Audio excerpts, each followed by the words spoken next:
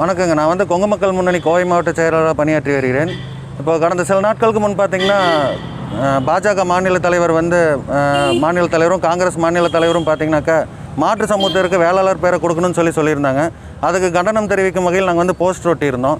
அது அது இந்த போஸ்ட் மேலேயே வந்து பார்த்தீங்கன்னா எங்களுக்கு கொலை மிரட்டல் எடுத்து போஸ்ட் ஒட்டியிருக்கு ஐ மீன் பிட் நோட்டீஸ் எடுத்து ஒட்டியிருக்காங்க.